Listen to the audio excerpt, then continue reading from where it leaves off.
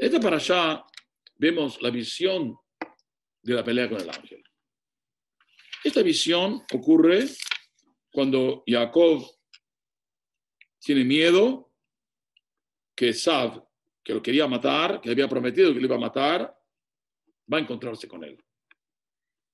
Y en ese momento, en todos sus temores y tristezas y preparaciones para guerra, incluso le manda regalos, le hace filar a Hashem y se prepara también para hacer guerra.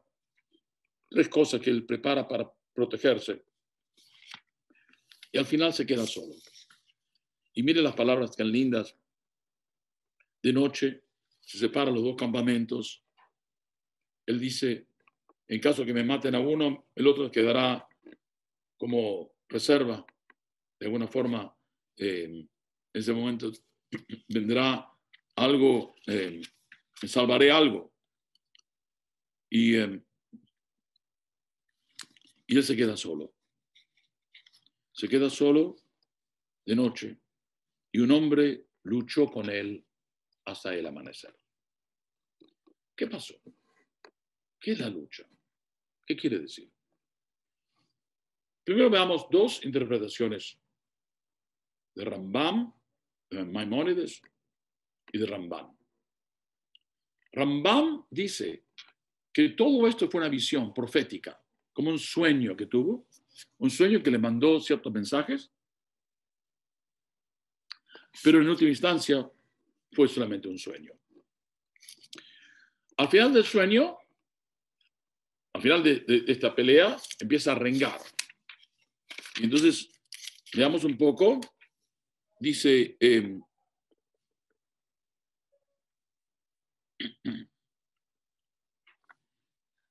el ciervo ciático, el nervio ciático, en la, articulación de la cadera, fue herido.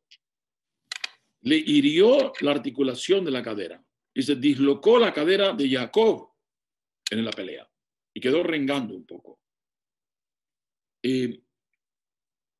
dice Ramban, Nachmanides, de un sueño no puede, ver, no, no puede realmente se dislocó. Debe ser algo real. Entonces, esta diferencia de opiniones entre Nachmanides y Rambam y Maimónides, algunos dicen que Maimónides puede decir que también fue un sueño y de, de, una, de una, forma psicológica, psicosomática, se hizo realmente, no podía caminar bien. Pero el cuento de fue una, una cosa verdadera. Un ángel, con la forma de un ser humano, vino a dar un mensaje a Jacob. Ahora, vamos a ver cuál es el mensaje de esta historia. Recordemos la historia brevemente. Eh, se empiezan a pelear.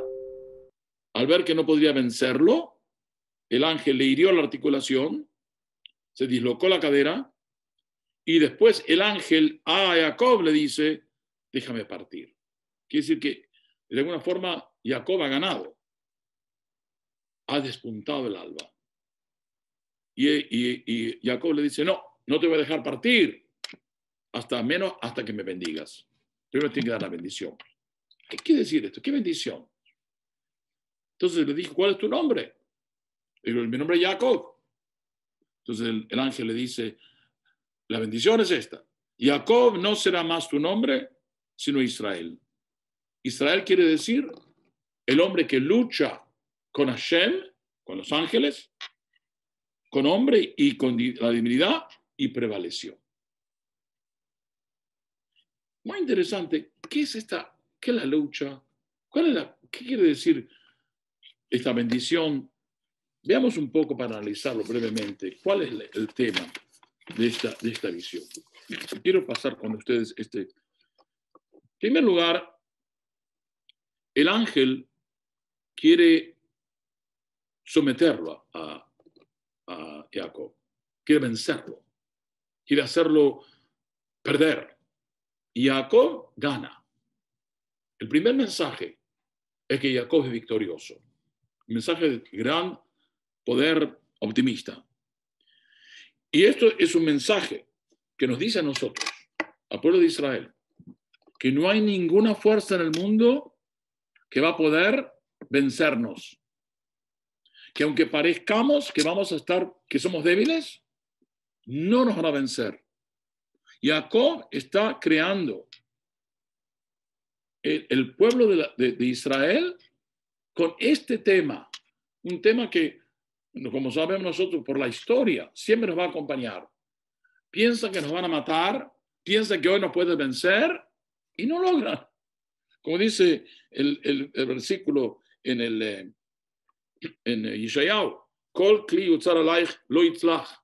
cualquier estratagema que dada contra ti no será victoriosa, no triunfará. Esta palabra de Yeshayahu quiere decir, es lo que ya vemos en esto. Eso es el primer mensaje. Segundo, ¿qué quiere decir? Quiero que me bendigas. ¿Qué quiere decir que me bendigas? ¿Qué, es lo que le pide Jacob?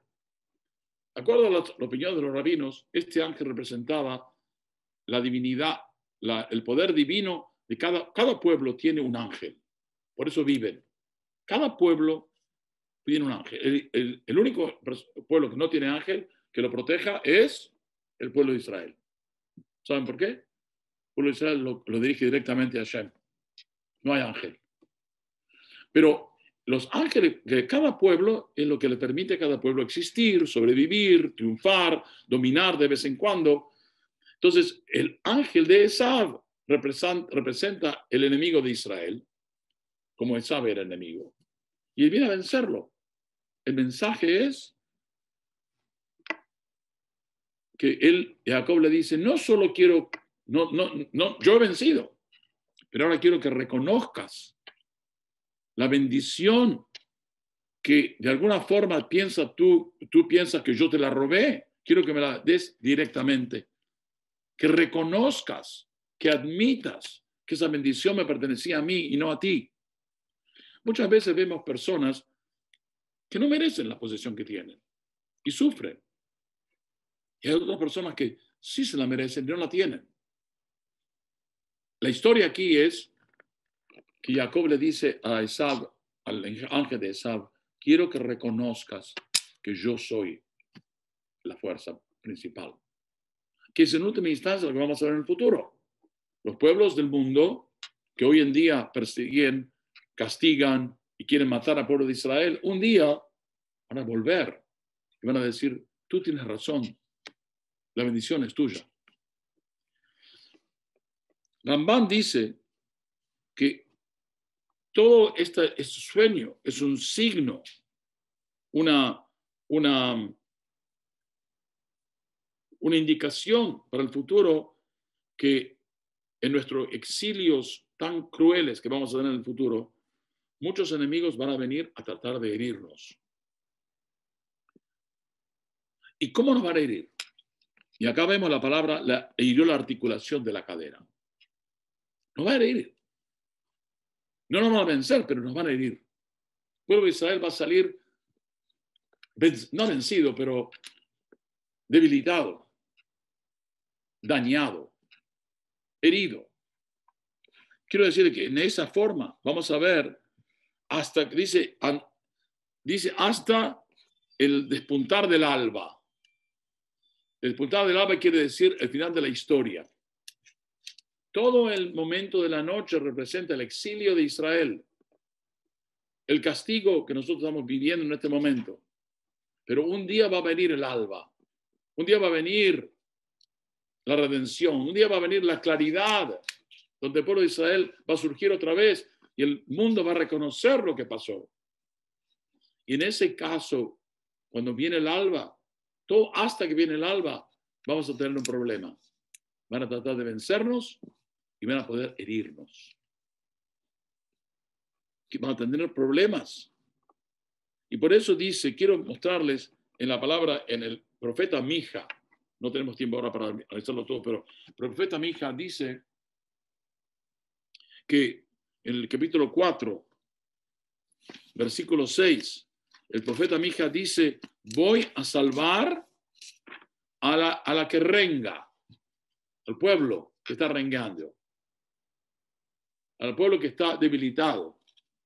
Justamente la misma palabra usada aquí, que se usa en en, esta, en, el, eh, en, la, en la Torah dice, salió el sol y rengueaba de su muslo.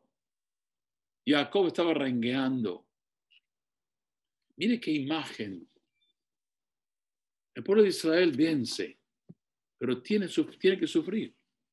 Va a sufrir, va a tener, como tenemos nosotros, lamentablemente, personas muertas, el holocausto, judíos que van a convertirse a otras religiones, que a veces va a parecer que no, vamos, no vamos a existir más. Todo se va a terminar. Muchas personas, recordemos, se convertían porque pensaban que no había más esperanza. Estamos rengueando en el mundo, pero rengueando y sobreviviendo. Este es el mensaje tan lindo que de, esta, de, esta, de, este sueño.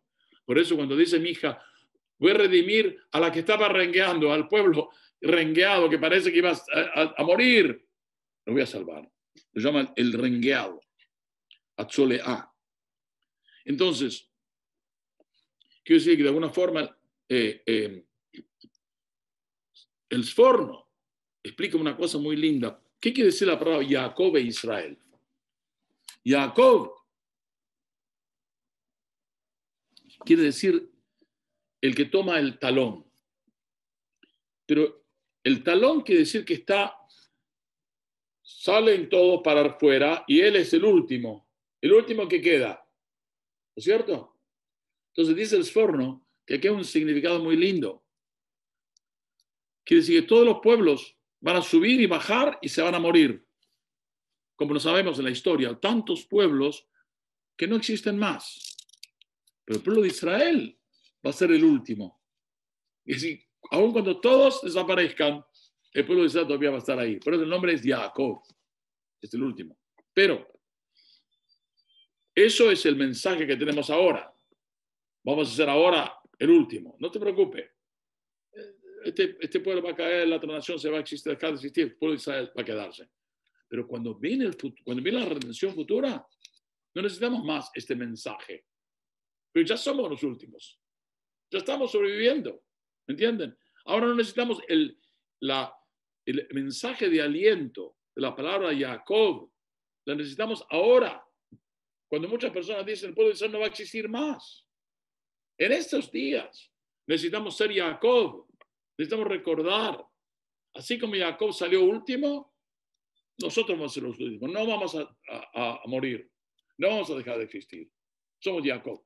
Pero en el futuro, cuando ya se ha logrado esa sobrevivencia, ese, éxito espiritual, ahí entonces sí, estamos somos Israel. La palabra Israel quiere decir no será más necesario, no será más necesario vivir con la esperanza.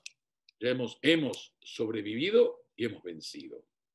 La palabra Israel quiere decir, somos victoriosos. Entonces, miren las dos palabras. Jacob nos da el mensaje, estamos en peligro, muchas naciones nos van a tratar de matar, pero no tengas miedo, porque tú vas a ser el último. Dice el profeta, al tirá abdi Jacob. No temas, mi, siervo Jacob. ¿Por qué lo llama Jacob? Porque Jacob es el mensaje que, dice el forno, somos los últimos. Oh, todos van a caer, nosotros vamos a ser los últimos. No, no somos a sobrevivir a todos. Pero el futuro, vamos a llamarnos Israel. El mundo va a decir, ustedes han vencido, han luchado con la divinidad. En este caso, la divinidad quiere decir con ángeles espirituales de otras naciones, que tienen fuerza espiritual, que, pero que quieren matar al pueblo de Israel, someterlo. Estos ángeles van a ser vencidos. Ustedes van a llamarse Israel. Qué lindas palabras. Quiero mencionar un aspecto más importante. Y esto ya se refiere a la ley. Nosotros sabemos que en el animal hay una parte trasera eh, de, todos los, los, ovinos, los bovinos, que se saca la... Ahí donde está el nervio ciático. Ese nervio ciático, Kit Anaché se llama, no lo podemos comer. Entonces, a menos que saquemos este nervio ciático de esa zona, nosotros no podemos comer esa, esa parte del animal. En realidad, ustedes saben que en las, comunidades de Europa no, no, se no se comía esa parte porque no sabían cómo sacar el nervio ciático. En las comunidades sebraditas sí comían esa parte. Hoy en día es la parte mejor de los bifes, la parte trasera del animal, no es trasera, pero la parte de los, muslos, donde está el nervio ciático, la mejor carne, que nosotros no podemos comerla a menos que se saque el, el, em, el nervio ciático. No sé cómo se dice en español. ¿El bife de lomo? Sí, pero el bife, ¿cómo se llama? ¿Bife de lomo? No me acuerdo. Pero es una parte del animal em, que es muy, muy buena. En, en, inglés se llama sirloin. Y creo que es el bife de lomo. Pero de todos modos, es una parte que nosotros no podemos comerla a menos que saquemos el nervio ciático. Y no todos saben cómo sacar el nervio ciático. Por eso es una, una la Torah dice que hasta hoy en día no se debe comer los hijos de el nervio ciático. ¿Qué, ¿Por qué? En primer lugar, ¿qué el significado del nervio ciático? ¿Y qué significado tiene que nosotros no lo comemos? Quiero enseñarles esta lección. Una de las mitzvot en, en, en Sinai, en Sinai se repite esta ley. El nervio ciático es la forma en la cual el muslo sabe estar parado de forma ergida. Entonces, la, el, nervio ciático representa el poder físico. Cuando nosotros decimos que no podemos comer, que el, el nervio ciático es una recordación de la fuerza física de un ser humano. Se para con fuerza, con energía. El pueblo de Israel, recordemos, está herido. No se para siempre con la fuerza física. Su poder no es en el cuerpo, no es en los militares, no es en las armadas. El pueblo de Israel, la fuerza de Israel es una cosa espiritual. Por eso que el hecho que nos tocó el nervio ciático es una forma de recordarnos tu fuerza no está en las armas. Como decimos nosotros en el Salmo 20, que lo leemos todos los días, lo, o, el, mensaje que dice, ellos trabajarán con los caballos y con las carrozas, con los tanques, pero nosotros nos mataremos con el nombre de Hashem. O como dice el, profeta, vamos a leer ahora en Hanukkah, lo cuando dice el profeta, no será, no con fuerza, no con poder ganarás, sino con mi espíritu. Entonces la idea de que no comemos el nervio ciático, recordarnos a nosotros, nuestra fuerza viene del espíritu, no viene de la fuerza física. Este es el mensaje que, que la Torah nos está dando a nosotros. Y cada vez que recordamos, ¿por qué no comemos el nervio ciático? Ah, porque eso es el mensaje que nos dio Hashem. Tu fuerza está en el espíritu. Quiero contar la historia. Ustedes conocen la historia de David y Goliat, ¿no es cierto? Recordemos que Goliat viene con toda su armada, sus lanzas, sus, eh, es grande.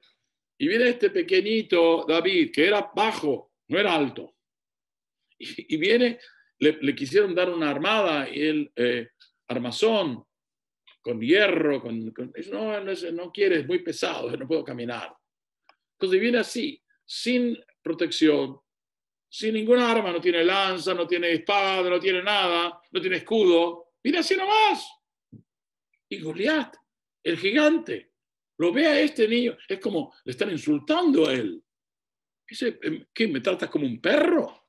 ¿Qué soy yo? Nada. ¿No tienes miedo de mí? ¿Qué, ¿Cómo me mandan un, pequeñito como no, no, se dedican? Él quería buscar el, el, hombre más fuerte de Israel y le mandan a este chico. ¿Y qué le dice David a Goliat? Tú vienes a mí con espada y con escudo, pero yo vengo a ti con el nombre de Hashem. Y este es el mensaje de este, de este sueño. Repasemos entonces toda la historia tan simple y tan linda de este gran mensaje del sueño o de la visión o del encuentro con el ángel. Primero ocurre durante la noche, toda la noche hasta el amanecer. Quiere decir que esto representa el segmento de la historia que estamos viviendo nosotros hasta antes del Mesías, antes de la salvación. Esa es la noche. Un día va a haber un amanecer, no estamos todavía ahí. Durante la noche, todos los ángeles, todos los pueblos van a tratar de matarnos. Exactamente lo que ocurrió. Van a tratar de, de exterminarnos del mundo. Pero al final vamos a salir salvados. No nos van a matar.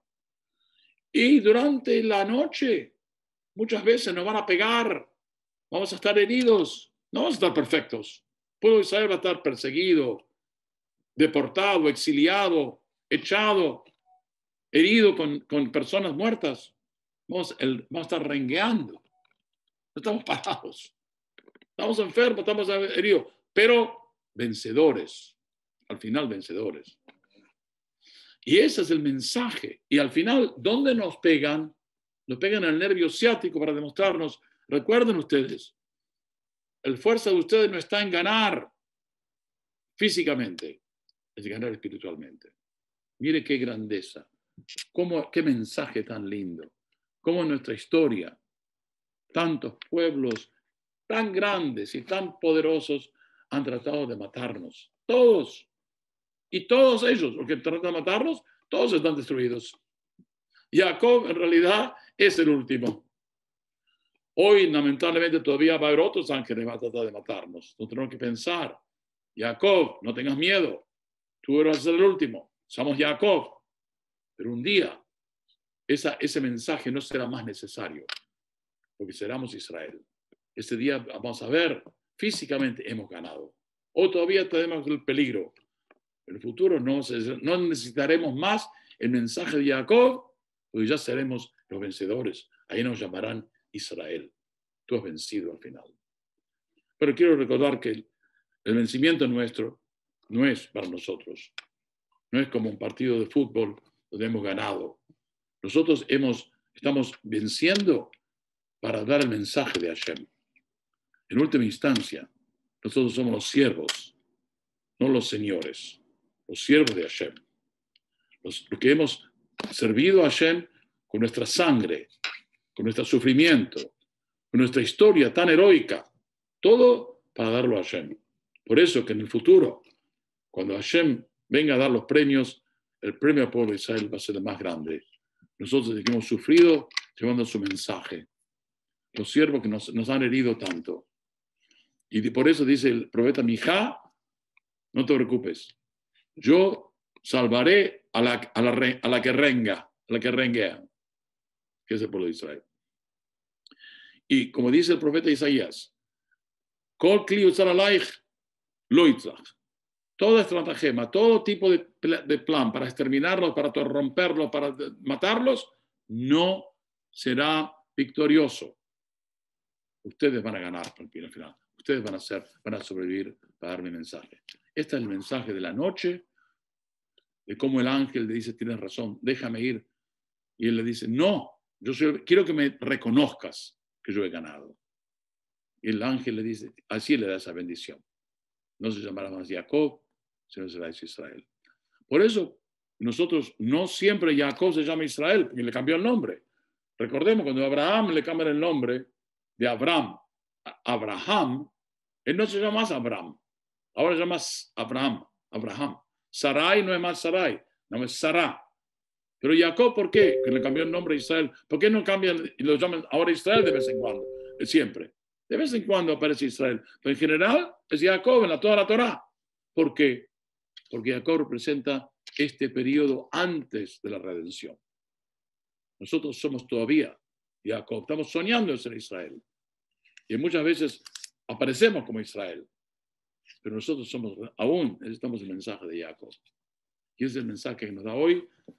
Por eso el, el Gida el nervio ciático representando la fuerza física, nosotros no podemos comerla.